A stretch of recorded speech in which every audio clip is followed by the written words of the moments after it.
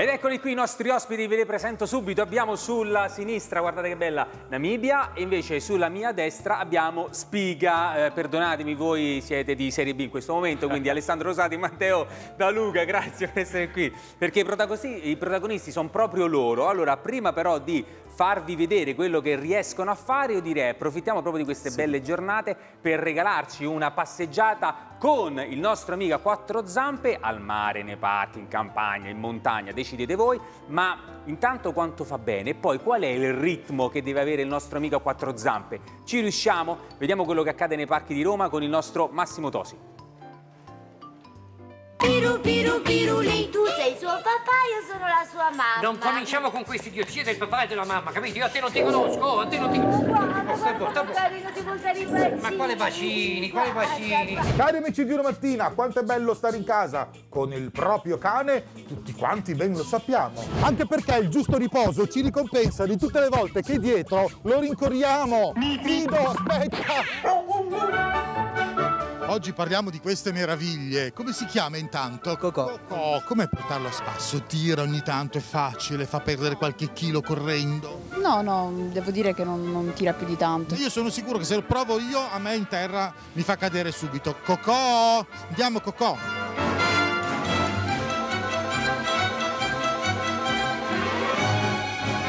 Come si chiama? Laica si chiama. Laica, quindi una femminuccia. Proviamo a vedere se Laica mi aiuta a perdere un po' di peso. Che dice? Andiamo, Laica. Laica vuol stare con me? Eccola, eccola. Come si chiama sta meraviglia? Flora, Flora. Flora. Corre, salta, è una meraviglia. È una meraviglia, ci fa perdere chili, ma lei non ne ha bisogno, vedo. Eh. Anzi, per quello allora è merito suo. Lui si chiama Muso. È il nome giusto, è più facile da chiamare. Tu scodinzola. Com'è portarlo in giro a spasso? Com'è? Piacevolissimo. Vedi che non si muove con me, come mai? È distratto dalla telecamera. Vedo che va e va veloce lei, eh? Sì, sì, lei è molto vispa. Eh, ma allora ogni tanto ti ha fatto cadere portarla fuori, o no? Strattonato. Diciamo quasi ogni giorno. Amore! Com'è portare Leon? È faticoso? Da morire, è un treno, non si ferma. Proviamo? Provo. Leon, andiamo avanti, va, aiuto, aiuto. Se non mi vedete tornare, saluto tutti gli amici di una mattina. Addio, arrivederci. Leon! Resta. Vai Massimo. Grazie Massimo. Allora, era in realtà da Palermo, mi sono reso conto. Allora, spiga, guardate un po'. Spiga. Dormi. Giù. Brava. Aspetta. Abbaia. Abbaia. Dammi 5. Dammi 5. Ma che brava che sei! Ma come ci sei riuscito? Ve lo spieghi? Beh, Spiga diciamo che è un cane che lavora nel cinema. Ecco. Fa, lavora sui set da quando era piccolina. Allora, intanto raccontiamo la storia. Io conosco benissimo, benissimo Spiga, Spiga perché Spiga. la RAI mi ha, mi ha, dato tanti anni fa una bellissima possibilità. Conducevo un programma che si chiama Cronache Animali, dove Alessandro ha educato prima me a, a, a, a conoscere il linguaggio degli animali. E Spiga è stata la mia compagna per tantissimi per due mascotte. anni. Sì, sì, sì. Ecco, ma come sei riuscito però ad educare? Tra l'altro ricordiamo che Spiga è stato un trovatello, è una trovatella. È stata trovata dentro un, un, diciamo, un cassonetto dell'immondizia e ormai nove e anni addirittura anche con ah, Bruno ecco, Vespa eravamo sì. a porta a porta. Sì, sì. E praticamente niente, lei eh, apprende tutto molto velocemente sin da quando era piccola, quindi eh, ha queste capacità, eh, imparava continuamente cose nuove. Quindi... Ecco, ma il fatto di tenerla adesso, voi non vedete, ma davanti a noi ci sono una trentina di persone, le telecamere. Come riesci a, a rendere lei in questo momento attenta solo a te e a quell'azione che deve fare? Sì, eh, eh, diciamo che è un'abitudine per il cane, nel senso, lei da piccola che è cresciuta sui set, quindi eh, ormai per lei è una cosa normalissima. Ha... Abbiamo visto gli amici un po' Sassole, sì, poi sì, Alessandro Gasma. Un po' Sassole, abbiamo fatto tanti film con Spica, sì. Qual è stata la parte più difficile che hai avuto, diciamo, in una parte, in un'azione, quando ha dovuto recitare? Ha Perché dovuto... poi recita a tutti gli effetti. Sì, sì. Le... Paradossalmente la cosa più difficile è correre appresso a un'ambulanza per circa un chilometro. Non ci credo. Eh sì. E come hai fatto? Eravamo a Castellammare e abbiamo fatto questa scena, è stata, è stata dura. Ok, adesso... Matteo presente. Matteo, Matteo Da Luca, vengo piacere, da te. Allora, eh, intanto, invece, eh, Namibia Dica. cosa riesce a fare? Allora, Namibia riesce a fare diversi tricks, diversi giochetti. Quindi te ne ah, faccio vedere qualcosa. Bravo, facceli vedere, vuoi. vediamo Vieni, Nami. Seduta, orsetto. Ok. Twist, twist, ferma, clock, clock, terra. terra, bene. Roll, roll, roll. Brava, amore, super. Se- vu- vu- ma Matteo, vuoi provare con me? Vai. Vai, eh, salta. No, co- come-. No, ma poi non so se avete visto anche il muso, in questo caso di Mia Bibbia, perché gu- guardate, guardate l'amore. cioè, All'attenzione. l'attenzione, ma poi anche gli occhi con cui ti guarda. Ricordiamoci anche che questo è un cane da pastore, quindi diciamo che naturalmente è propenso ad avere sempre il riferimento verso il proprietario.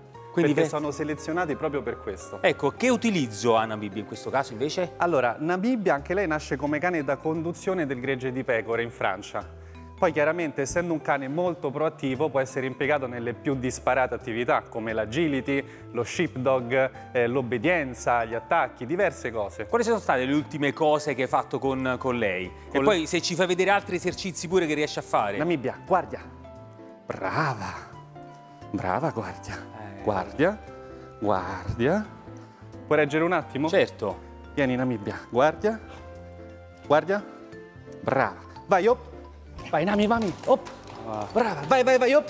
Bravissima. E il premietto ci vuole sempre alla fine, eh? Allora, quello che avete visto con Massimo Grazie, Tosi era, no che scherzi, era praticamente impossibile, però questo per dirvi che cosa, avete visto il rapporto che c'è tra il nostro amico a quattro zampe e in questo caso sia Matteo e Alessandro, ma quando andiamo nei parchi spesso vediamo veramente quelle scene pazzesche, ossia che non riesci a portare il tuo cagnolino, che possa essere piccolo come spiga, ma grande un molossoide gigantesco. Allora, Alessandro, qual è il miglior modo per avere questo rapporto proprio con il cane? Passarci tempo insieme, passarci tanto tempo insieme e cercare sempre di collaborare col cane. Quindi o con i premi o con il gioco riusciamo ad ottenere eh, l'educazione del cane. Ecco, ma quando siamo con loro, ad esempio, noi vediamo quelle scene, intanto come ti guarda? Cioè, io neanche, neanche ho i figli che mi guardano così, no, veramente. Allora, il fatto di avere il cane, ad esempio, io mi ricordo quando facevo cronaca animali, lui mi insegnava sempre di portare il guinzaglio un po' dietro, inizialmente avere sempre, averlo corto e poi gradualmente lasciarlo un po' più lungo, un po' più Esatto, lungo, perché sì. si doveva abituare comunque il cane a non oltrepassare mai, Esatto. diciamo, il mio passo. Inizialmente ci avvaliamo anche del cibo. Ecco, Nami, quindi piede, facci vedere. Ce la mettiamo al fianco, l'abituiamo ad associare la gamba al cibo in modo tale che ci sarà sempre da questo lato senza allontanarsi più di tanto. Vedete? Piede, brava Namibia. Andiamo, piede. Brava ragazza. Guardate, Piede, guardate. molto bravissima. Bra- vedete, così fa questa associazione e prova piacere nel stare vicino a noi. Poi chiaramente ci tengo a precisare una cosa.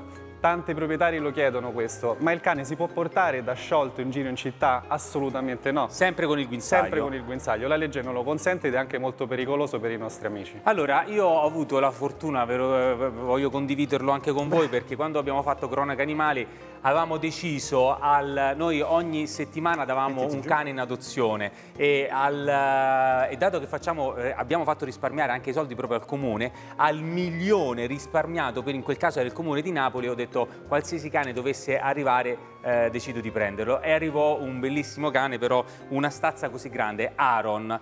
Eh, lì la, la prima cosa che ho fatto qual è stata? Ho detto Alessandro mettiamo un bel collare, quelli che quando poi lui tira stringe il collo perché si ferma. In realtà lui diceva no, devi iniziare proprio con la pettorina, cioè con la parte dove lui, lui devi, tu devi interagire con lui. Eccolo qui, questo è Aaron. Questo proprio per dire che è il rapporto che devi avere con, con il tuo amico?